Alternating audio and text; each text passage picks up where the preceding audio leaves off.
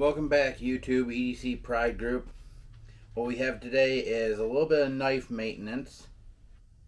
And we're going to go ahead and uh, look at the new Raikiri Field Stripper from CRKT. Uh, and it's really, really stiff. So, um, it fails. It needs it needs some lube. needs some help. So, first time using this, we'll go ahead and put try some KPL out. We'll strip that down and put some KPL on it and see if we can help that out a little bit.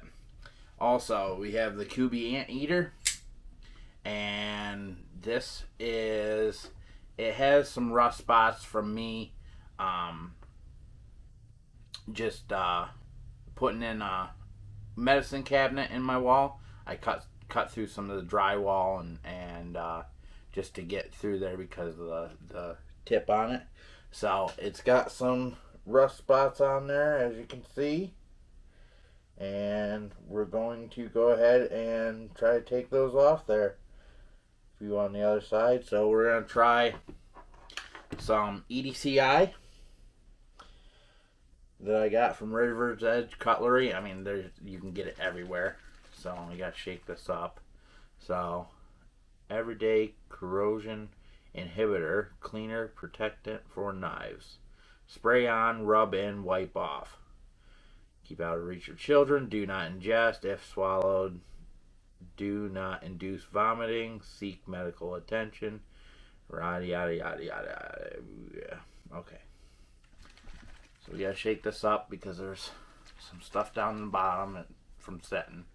So shake that up, and then if that doesn't do anything, if that that doesn't do it, we have the Flitz full full polish stuff.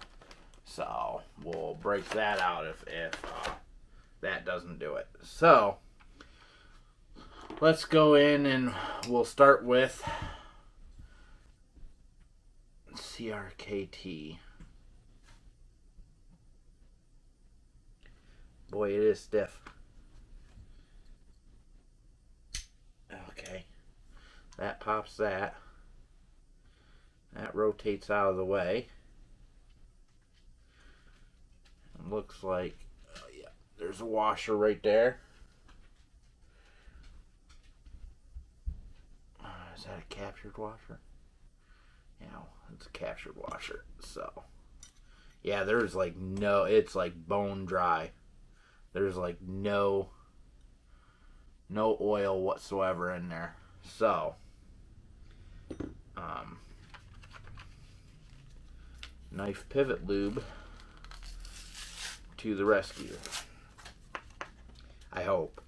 Never used this stuff before. Been using non-petroleum based substances on my knives um, because I work on clocks and watches and I use that oil um, which is I got a thing of it right here.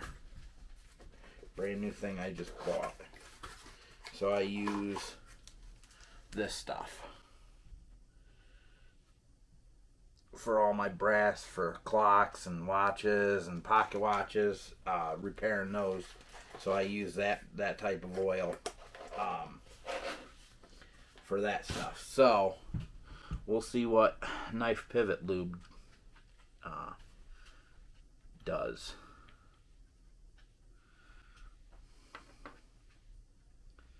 So we'll just set just a little bit down next to the washer here.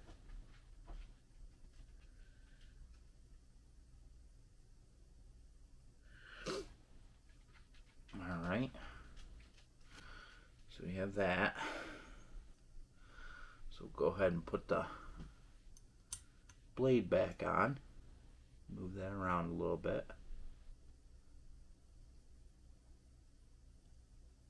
Alright, set that back in. Let me see. Let's do just a little drop on here. Right around the edge.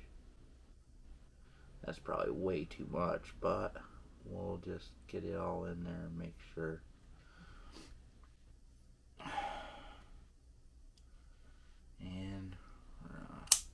It down, come over, go down, and lock it in, hopefully. Or maybe. Yeah, lock it in. Still need some wrist. Starting to loosen up. There we go. A little bit of wrist. A little bit. Move that in there. Get that to go.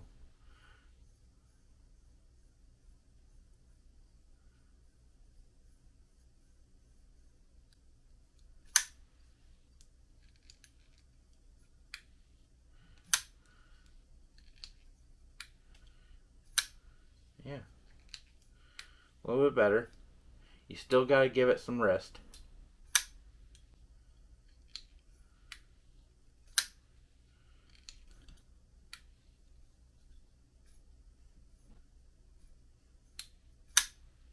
Still got to give it rest. I mean, that, that is a chunky blade. Oh no. Can? No, there's not anywhere you can really, you can't really get into there. It's hard. You can do that. Slowly pull it out, but you gotta you gotta put some authority into deploying that blade. It is a pretty thick blade. Centering's good. Centering's good on it.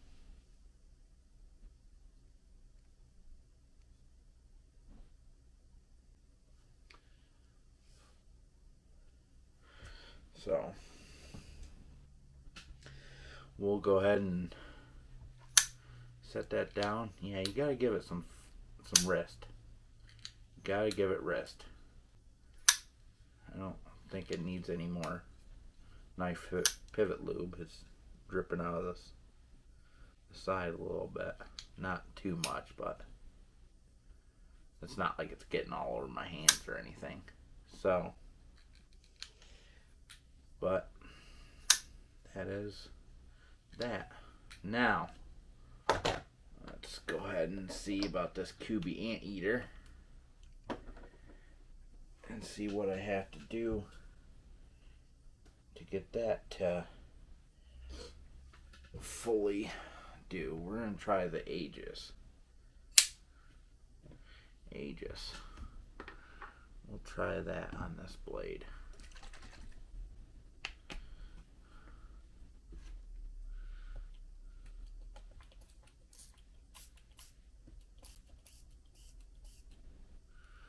Give a second. It's very thin. It's not like your Flitz cream or anything like that. It is very, very thin.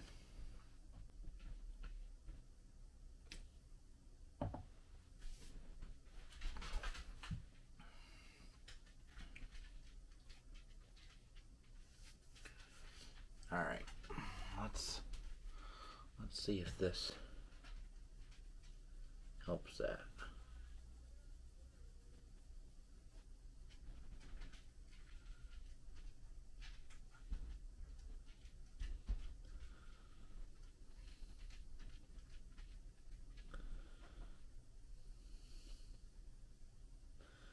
You know what? I don't think it is. It's not taking those rust spots off.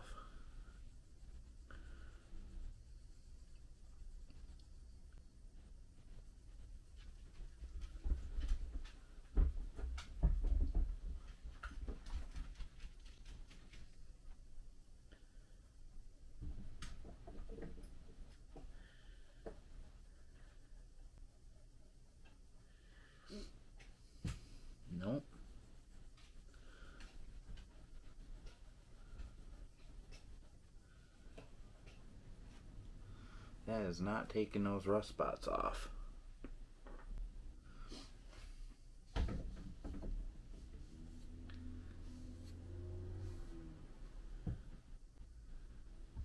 Wonder how long you have to take that, let it set. It's not taking those rust spots off.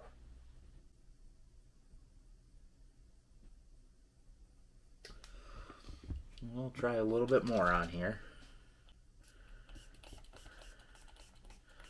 I said, it's definitely coated that blade. There's a nice little pool of it on there. So we'll see. We'll see what's going on with it. That's all I'm going to do with that. And see.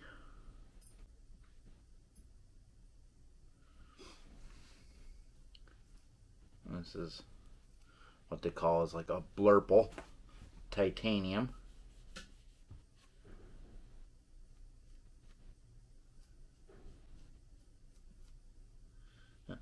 Pulling that pivot, pulling my stuff,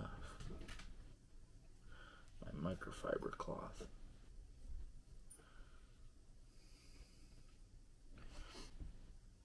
This has uh, abrasive pieces in it, uh, almost like fiberglass. Um, this is for polishing uh, watch crystals. So I get a bunch of these cloths. Then these are for these are high polish um, watch crystal. So I figured that would definitely take the rough spots out with uh, with that. So let's try to get them slow circles and try to get this little patch out right here. And it's not coming off.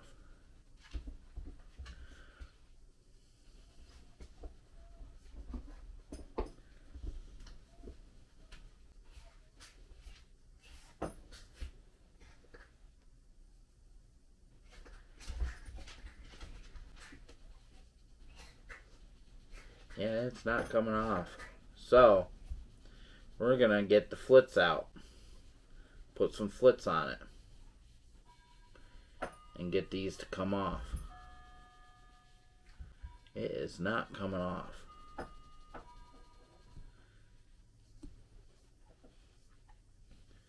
It's lightening it up, but it's not coming off. So, we'll go ahead and try the Flitz and go from there.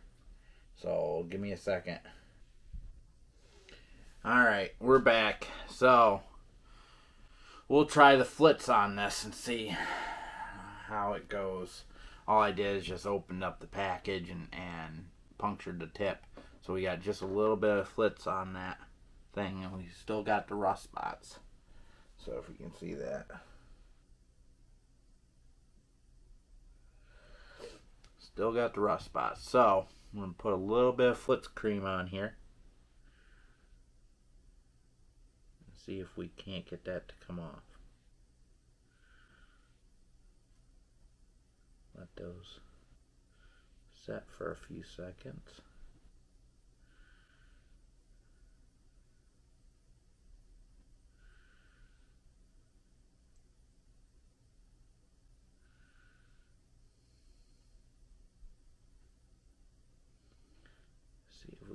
Ooh, that's got that's got a heavy smell to that Flitz. Uh, the blade on this uh, Kubey Anteater is a uh, is S35VN, so it, it's a it's a good steel. It's not your um, cheap steel. So we'll go ahead and let that set for a few seconds, just like I did with the EDCI stuff. Maybe that's just basically a rust inhibitor so we'll we'll look into that a little bit more. Uh, let's see if we can't. Yeah I got it I got a good globule on there. So we'll see if we can't get it to to come out. Let's get some elbow grease into this. Just like I was doing with the EDCI.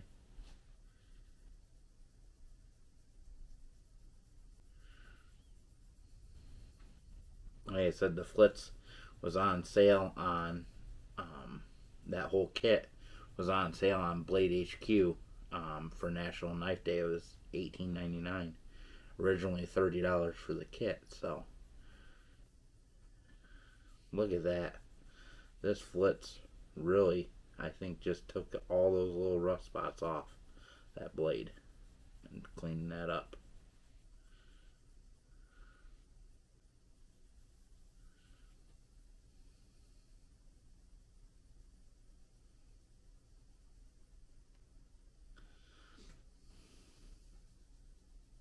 I could be mistaken, but it looks like it is.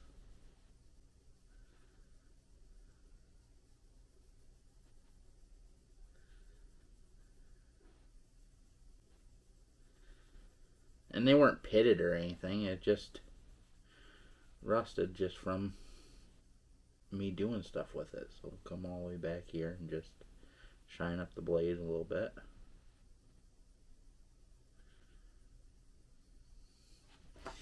Alright, let's take a little bit of that paste off there. Clean up that blade. Yeah, it didn't it didn't take them off all the way either. Still still got a bit of spots on there.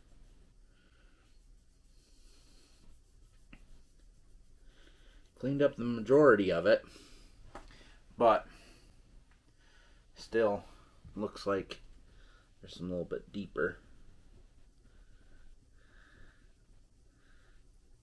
spots in there. Just need a little bit more elbow grease. So we'll go ahead and do that and I'll show you the finished product after I get it taken care of with the Flitz.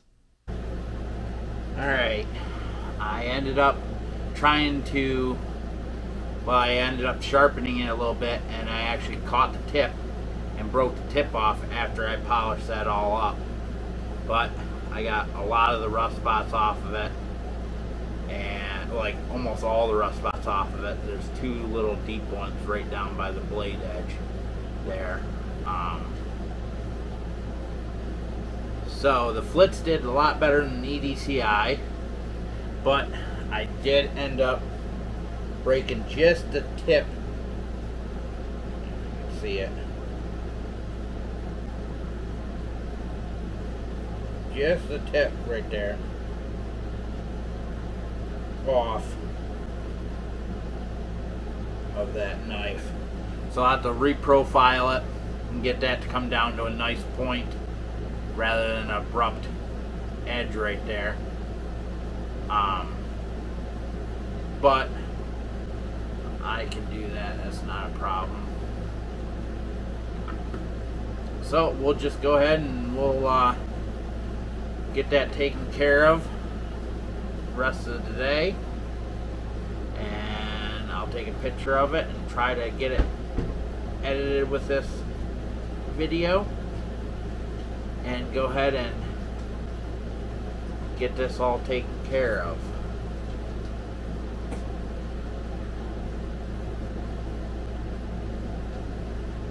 Just drying that blade up a little bit, getting the excess stuff off of it. And then we're going to go ahead and sharpen that choil out. Well, I got this sharpened. I almost put a mirror edge on that on that sweep right there. Um, so I almost got a mirror edge on that little little sweep right there, and uh, we'll go ahead and clean this up and get that end taken out and get that sharpened up and, and looking nice. That'll be back in the EDC rotation. Like I said, I love this purple, this blue and purple anodized titanium milled backspacer on it. Really cool. So that's a Kubey eater. We'll try to get some things. It's not assisted, just a little bit of a flick of the wrist, and it just goes. It drops shots and everything else. So I don't I don't think this one is available, the titanium with the titanium beads and everything. Um, they had a limited run um, and everything on those. So clean up my mat and I appreciate you. We'll go ahead and get this taken care of and let's see if this uh now it's still you got to give this one a flick. It, it's a pretty heavy knife. It's a hefty one. That knife pivot is helping it quite a bit, but it still it still needs a flick of the wrist. That's for sure. So um, maybe I'll take that one apart and put a little bit more um, knife pivot lube on it and see how that does. Alright, I appreciate you. Thank you very much for liking, commenting, and subscribing. Let me know what you don't like. Let me know what you like. And another camera angles, anything like that, we'll go ahead and, and do. And I'll get back to you. Sorry, my air conditioner is right behind you. I totally forgot about that. Um, running. So you might not be able to hear me that well.